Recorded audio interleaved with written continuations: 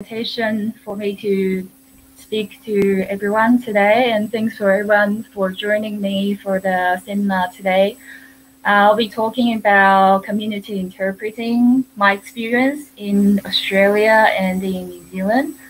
And another topic is about before and after getting your NAATI certification. I know a lot of you have been very interested in getting the certification but I find not many people um, looking to what you need to do after you get your NAATI certification because they do have certain requirements you need to meet every three years in, um, to keep the certification.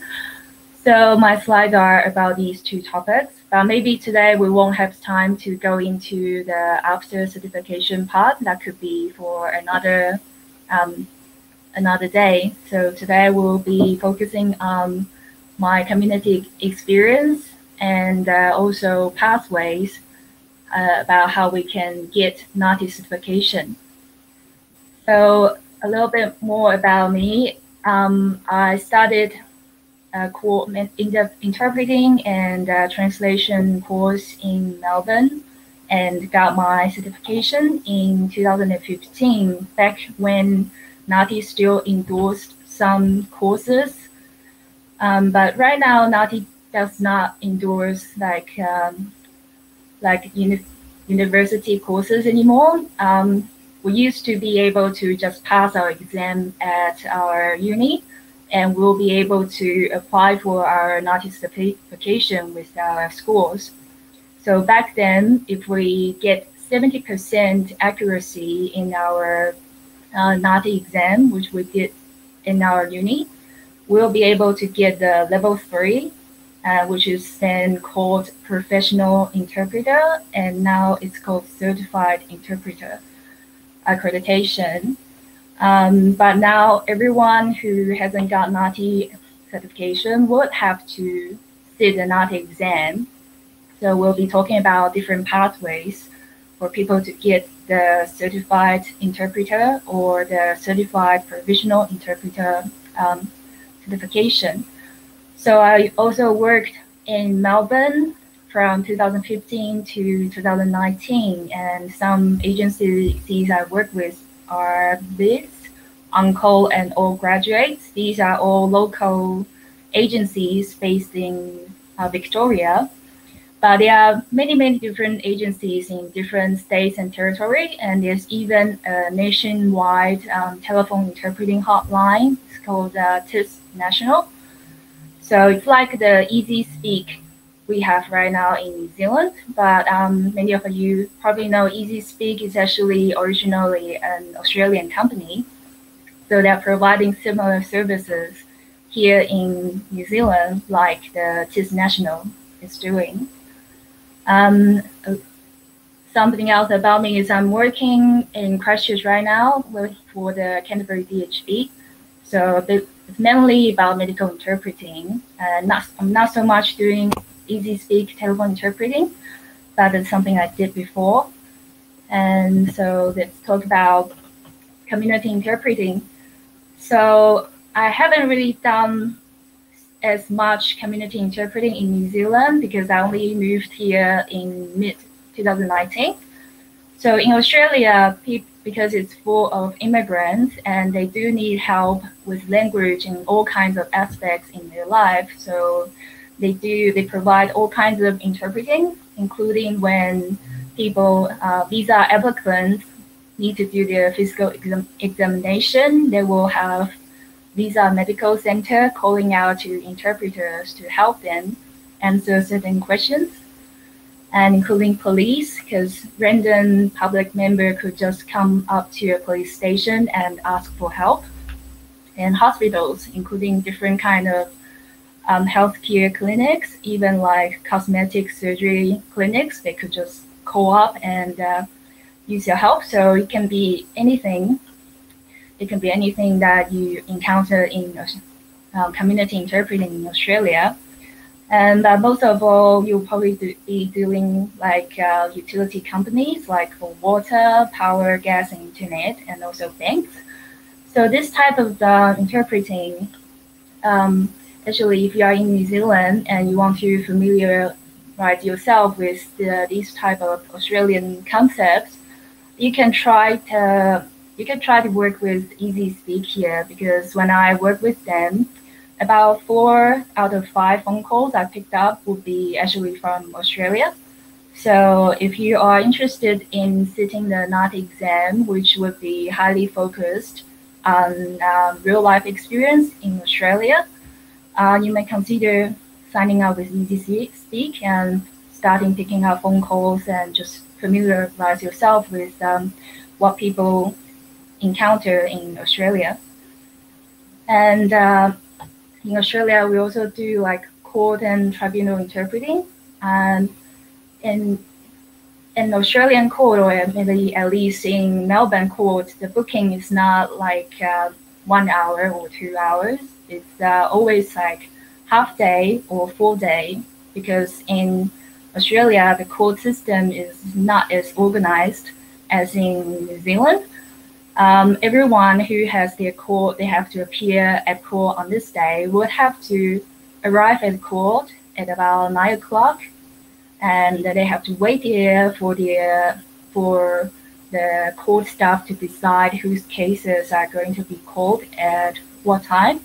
So everyone who have a case that day will have to come first thing in the morning, and they'll all wait in the court. So that's why when we get a court interpreting assignment, oh, it's always half day or full day. But it's not like that in New Zealand. It's a lot more organized. So that's something um, I found very different and uh, very interesting. And in Australia, there's a lot of tribunal interpreting, and a lot of them are about like home violence or about um, immigration matters. A lot of people, especially visa applicants, they will need a lot of help in the application process or even like appeal process, and some of them will go to tribunals. And other than that, the most cases I did when I did legal interpreting in Australia is actually about uh, home violence related cases. And uh, in Victoria, um, in Melbourne's Magistrates Court, it's called um, intervention order. Uh, most people would be seeking an intervention order um, issued by the judge. So it's to help the home violence victim to stay away from the perpetrators. And uh, diff- in different states, it's called different things. I think in Queensland or Gold Coast, it's called a protection order. So if you are interested in knowing more, um, you could have a look into this topic and what it is called in different uh, states because in real life it is something that comes up very regularly and uh, at NAATI test, uh, tests, they have a focus on legal and uh, medical topics. So um, if you have time, feel free to do more research on this area. And people in Australia also they they need uh, interpreters to help them with their doctor's appointment and even driving test when they are doing like their first stage test, which is just a knowledge test, and their second stage, which is a practical driving test, they will need someone to go with them. So, and the maternity and children's uh, appointment, this is mostly about uh, a nurse will see the children and mom regularly for their immunization and for the children's growth. And in Australia, they, they have the national immunization schedule, um, which um, will be like semi-mandatory for parents to immunize their children because if they don't do that, their children can be denied um, childcare or like some certain benefits. So in Australia, immunization is something pretty much all parents do for their children, and they have a schedule of what vaccinations and at what time that you should give your children.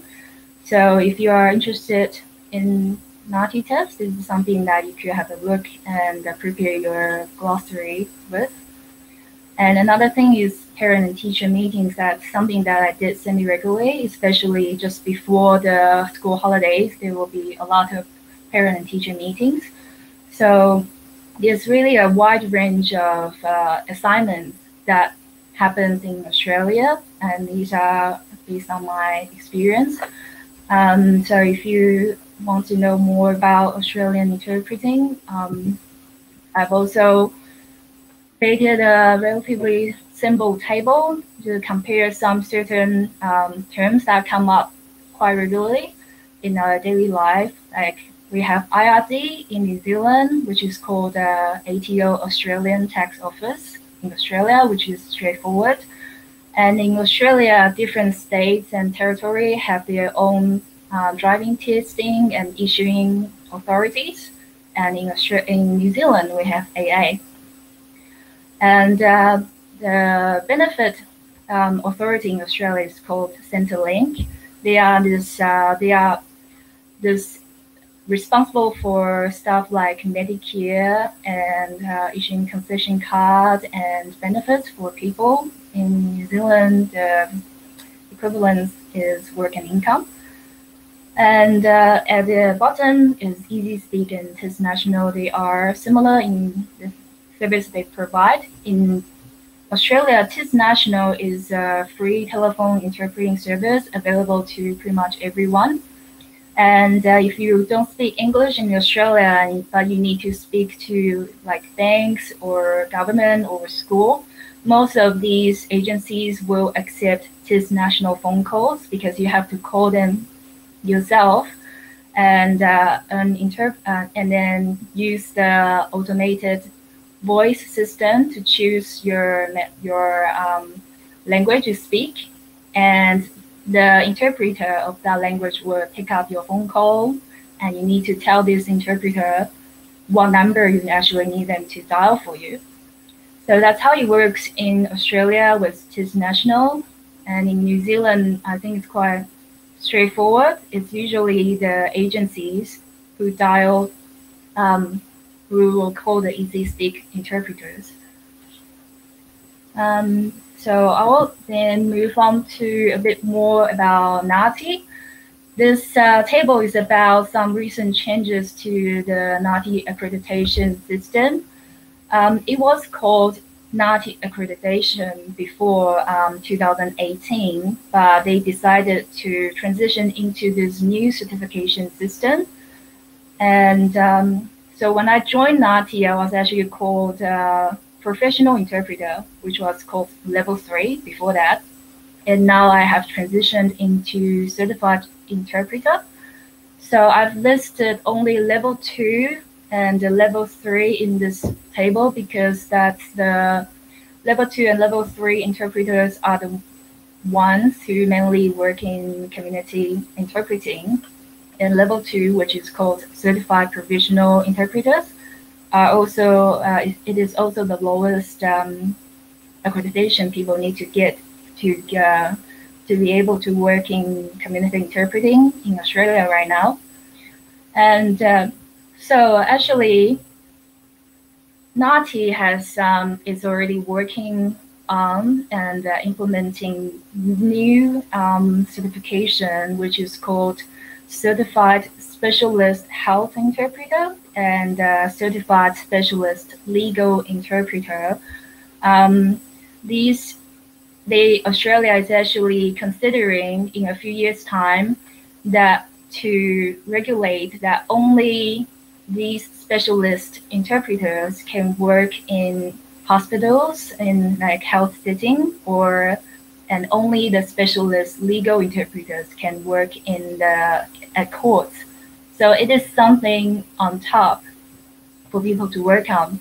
For me to, for people like me, certified interpreters, if we want to become a specialist, we need to take on extra tests actually to become even more qualified to be working in health or legal settings in Australia later on. And they are actually already, they are already um, unis that offer courses specializing in either health or legal interpreting.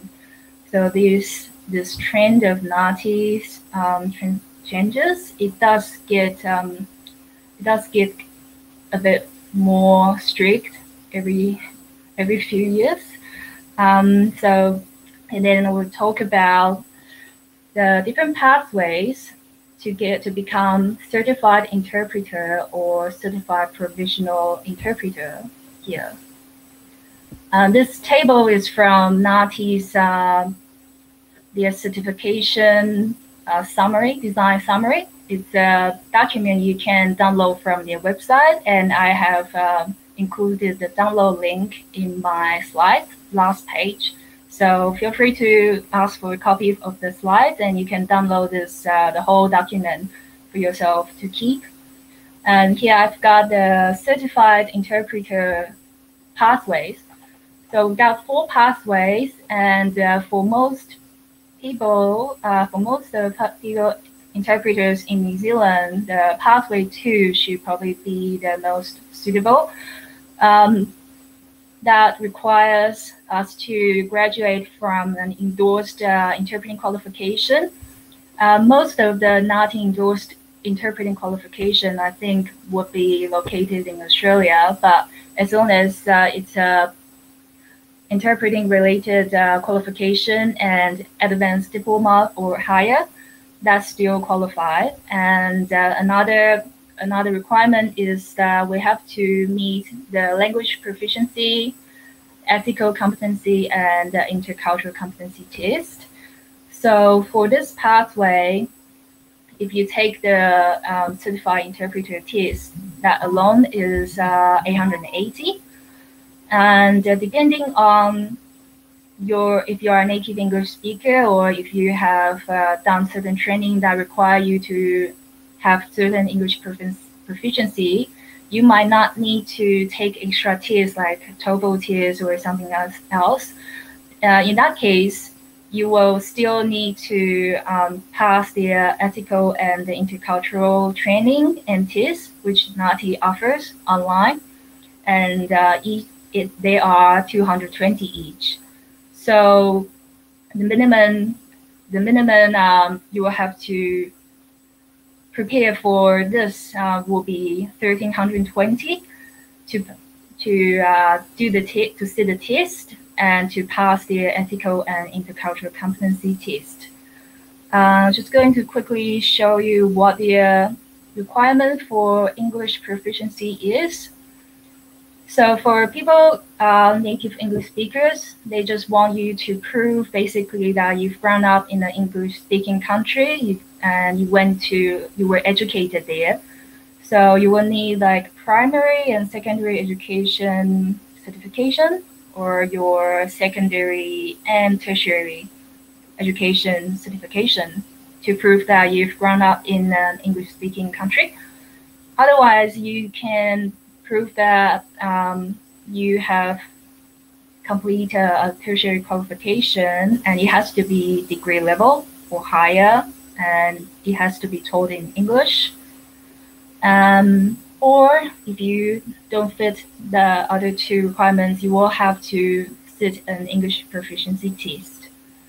And here's the fees that I just mentioned. For certified interpreter is 880 and for certified professional interpreter test is 550 plus the ethical and intercultural training that uh, NAATI just offers is 220 each. So at least if you go for the certified professional interpreter it will be 990 at least to do the NAATI test. And there's other pathway three and pathway four. I think for pathway three, that means you will already have, you will already be certified, maybe in another language, and then you can you can you can just uh, sit the NAATI test for another language.